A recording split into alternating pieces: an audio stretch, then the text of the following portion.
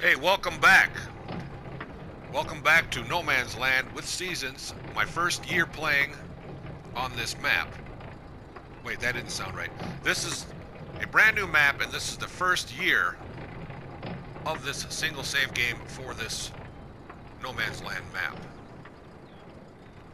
I guess that's kind of hard to for me to say right now. I'm not sure why. But check it out. I wanted to talk about this windmill and seasons and what happened. It snowed two days ago. I got two millimeters of snow. And the windmill stopped turning. And my income per hour for the windmill also stopped, which is to be expected. So then I fast forwarded it because there's really not much to do in the winter. There's a lot of fast forwarding when you're first starting out in your first year in the wintertime, you know. There's not much to do except for logging, but I've already I've logged myself out for right now. I've already chopped down about 90 trees. So I gotta wait until I get the itch again to start logging. Which I will be because I just bought plot 37 adjacent to 36 there. A lot of trees over there. Lots and lots of trees, so that'll be for a future video. But when it snowed, the windmill stopped turning. I thought that was awesome. At first I was scared, so I saved my game, logged out, closed the application, restarted the application, Farming Simulator, reloaded my save game, came back into the instance that I was in, and the windmill blades were still not turning. I thought, oh great, now it's broken, it's glitched. And then I thought, wait a minute, it snowed, and then it stopped. So that would mean that they iced over. Even though it was very windy for because let me show you a couple days ago. Wind speed was at about 20 meters per second. 24 meters per second, something like that. So I'm thinking, okay, it's not the wind speed. It's gotta be because of the snow iced over the blades of the windmill and they just stopped turning. Which I thought, wow, that's really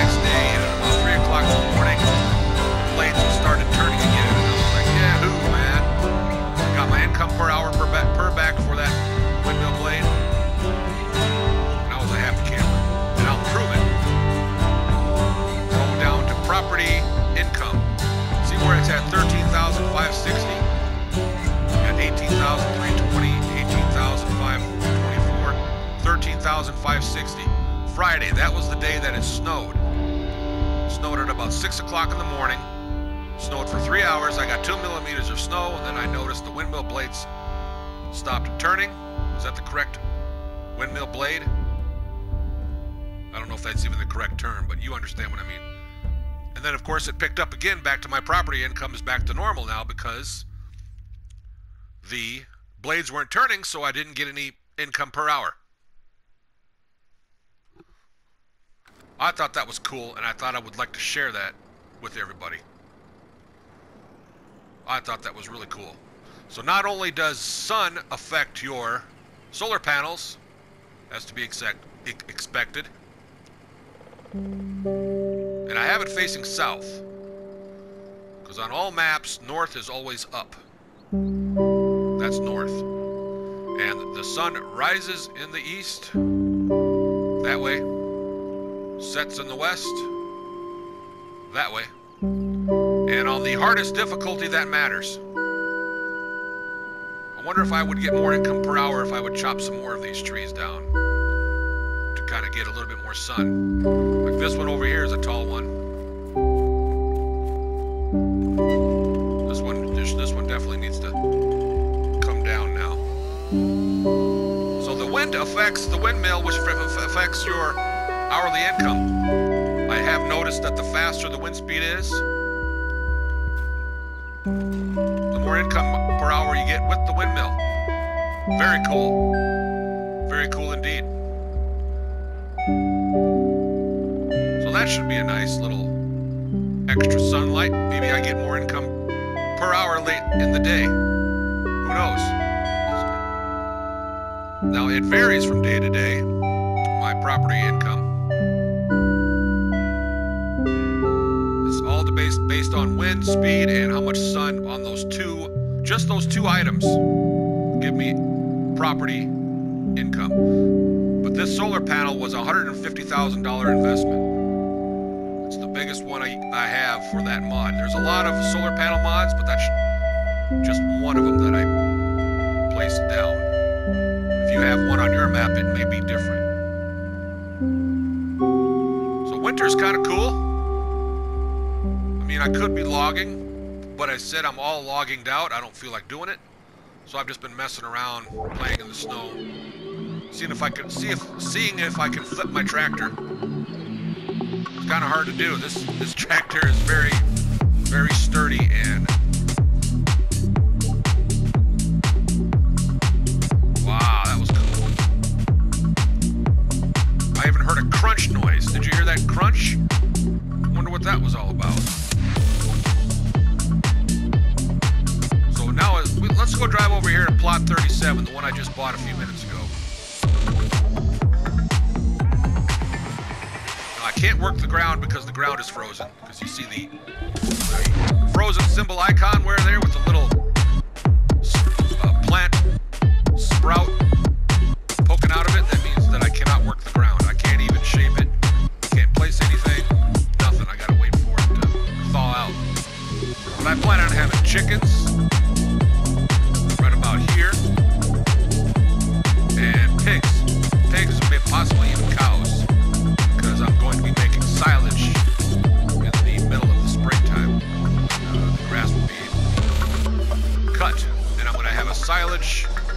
bunker.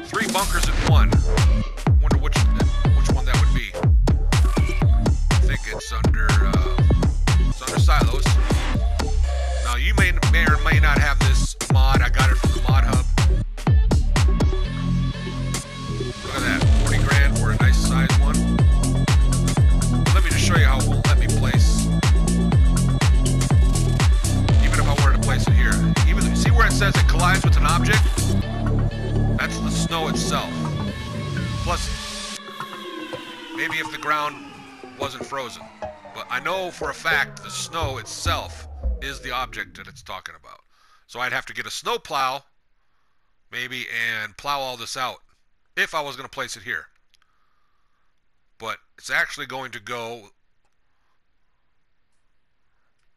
right around where the tractor is. Plenty of room. That's what I like about no man's land. It gives you lots of land to work with, to create your own little, um, what's the word I'm looking for? Utopia? Because eventually I'm going to have a city with different types of city buildings, different types of sell points. I'm going to be the mayor of my own town on this map. That's going to be a lot of fun. So I just thought I'd just discuss some things today. By the way, that one won't be the bunker I'll be buying. I'll be buying, I think this triple one right here for five five slots. And the way the reason it's triple is because I can put my silage in one bunker and not have to worry about it. You know, not having room for the next time I make silage, which is in the fall. In seasons, you make silage in the middle of the spring, you make hay in the middle of summer, and you make silage again in the middle of fall. So that's only twice a year, so I'll have plenty of room, plenty of time to clear one out to make room for the next harvest. I think maybe right up against this rock face. That's a good spot for it. Gives me plenty of room. Wow, I like that. It's a huge map. No Man's Land is a nice, huge map, and it does not take much room to fill your hard drive. That's what's nice about it, too. It only took up 4% of the room for my total space available for my console, PlayStation 4. That's awesome. How deep, well detailed this map is, how much there is to do, how many trees are on there, everything about this map is awesome. And even the realism there's certain aspects of this map that are not on other maps, which are obviously because the map maker made it that way. I'm talking like physics, realism,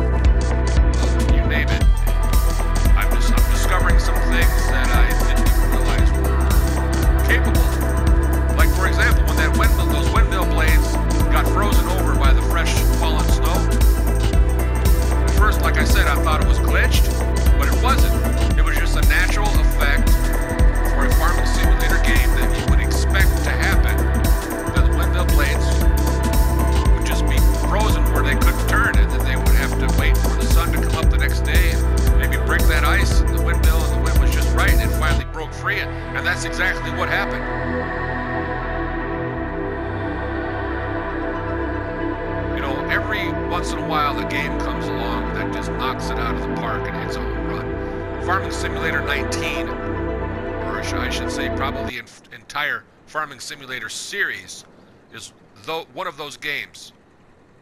One of those games that you can never put down. One of those games that you never get bored playing. Never had a game like hap since uh, hap happened to me like this since uh, about 2005. I won't say the name of the game because that's it's it's not a farming simulator game, and that I don't want to make this video about that, but I wanted to give it as an example. So that was 15 years ago, last that I saw a game that I never got bored of, and then I didn't move on to a different game after playing it maybe let's say six weeks to two months. That's about the normal time a person will play a game and then get bored of it and move on to another game. That's natural. But Farming Simulator 19 is just one of those games that comes along about every 15, 20 years that is so immersive, so incredible, and there's so much to do. I've been playing this game now for, I'm going to say, seven months. And I've barely scratched the surface of the vehicle types that I can buy. The different things that you can purchase the different animal types, the different all those different types of mods, the different breeds of animals, different ways of doing things that other people have discovered, and then they share on the YouTube forum. Like this.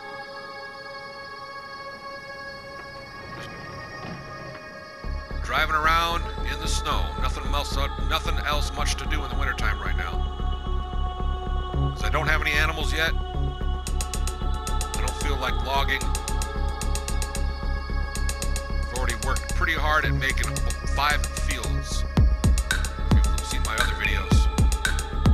And I just, look at this, I just purchased a sprayer that's more efficient for spreading herbicide. I'm not using this for liquid liquid fertilizer.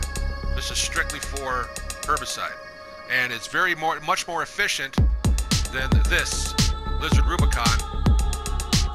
The Lizard Rubicon, if you this to herbicide an entire field, you're going to be spending way too much money because these the spread rate is very.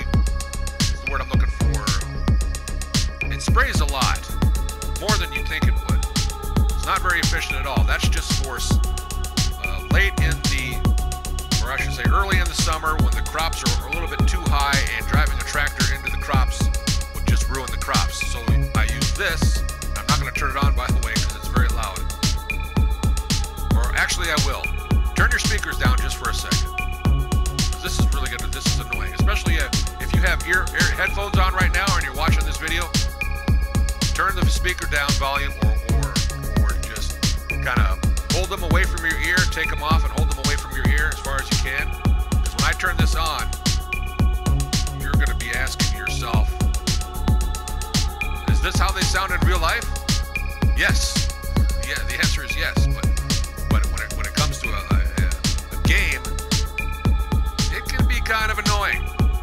cool part is, is it, it's still real life, and that and that was that's what makes it okay.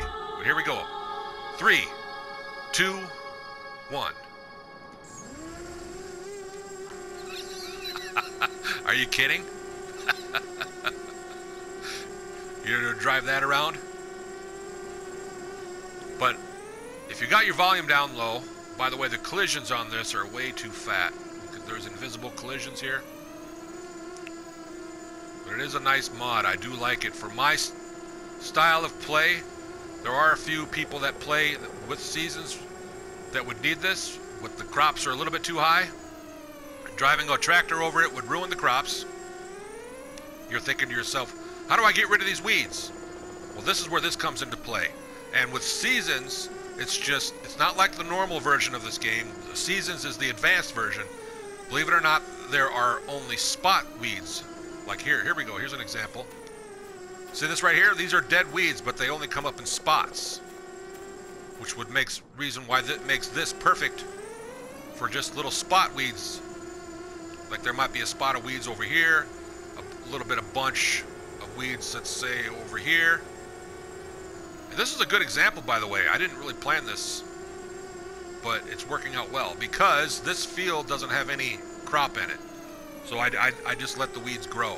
I'm waiting for soybeans to be planted here in the spring, uh, let's see, late spring next year when the soil temperature will be 50 degrees. And the nitrogen is also perfect for here. That's, that's why there's no crops here. But for the purposes of this drone, it's a perfect example of how weeds work in seasons. Now I know on the regular version, they call it Seasons Light, or they just say regular version of the game, that has nothing to do with seasons. I think the weeds cover the entire field, if I'm not mistaken.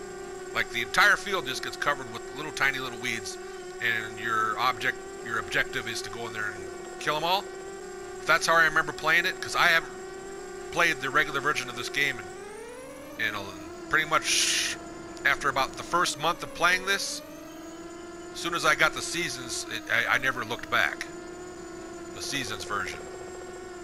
Now I know the regular version there's just sun and it's always sunny and every day is every day is like warm.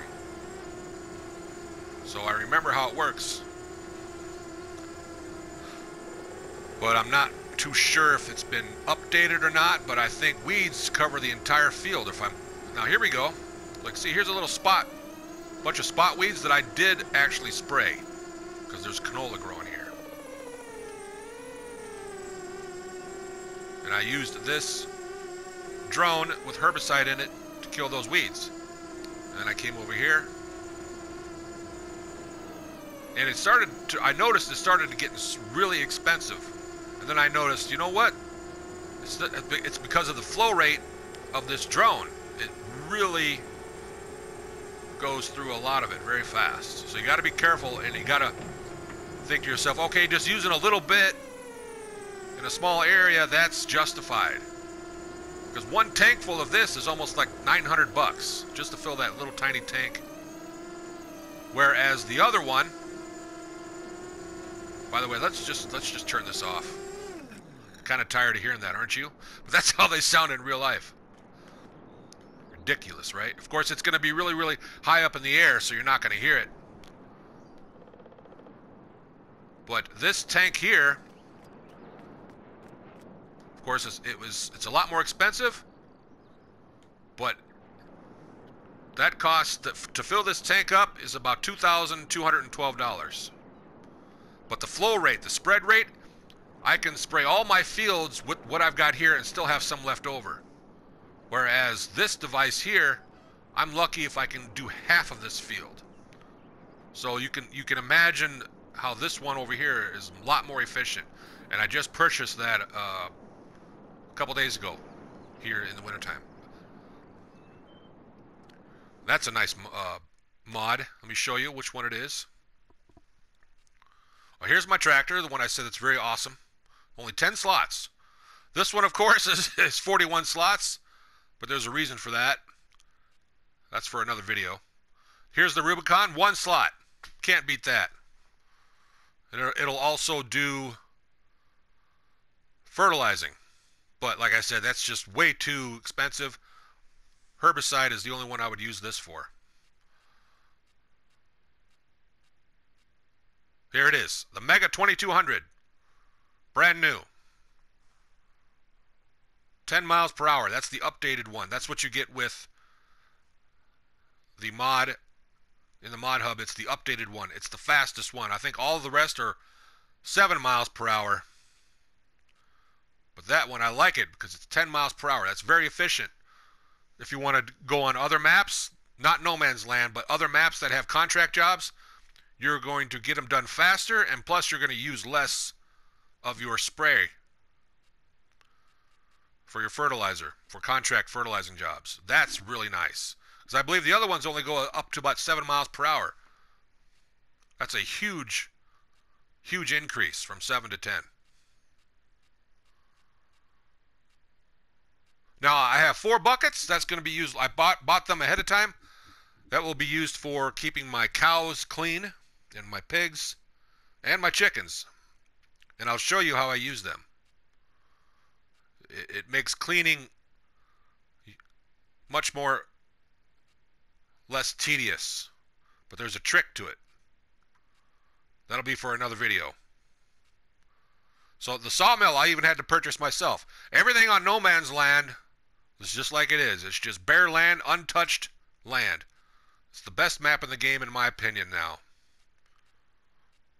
If you're tired of doing contracts, I definitely recommend No Man's Land.